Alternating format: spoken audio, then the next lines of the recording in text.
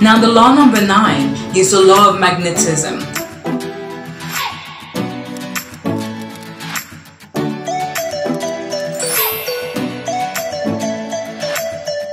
That says that you are who you attract.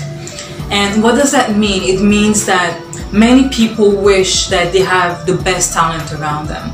They want to attract somebody with such great skills. However, the law of magnetism is against that. The law of magnetism says that you attract who you are. So whatever skills you want to have other people within your organization, you need to ask yourself, do I possess those skills?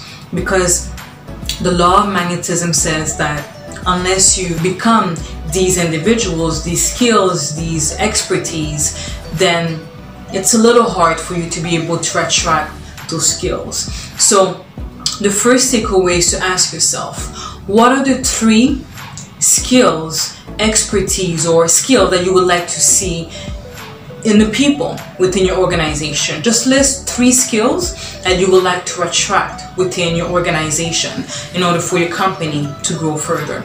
That's number one. Number two, ask yourself, do I possess those skills? Number three, what is the one thing that you could do right now to take step towards developing the skills that you need to have within your organization? This is Ruth. Want to remind you that if you're looking for a virtual mastermind where we will study and apply the leadership skills based on the number one Inc. magazine leadership courses in the world from John Maxwell, click on the link below and we look forward to seeing you. This is Ruth signing out and reminding you that success is in your DNA.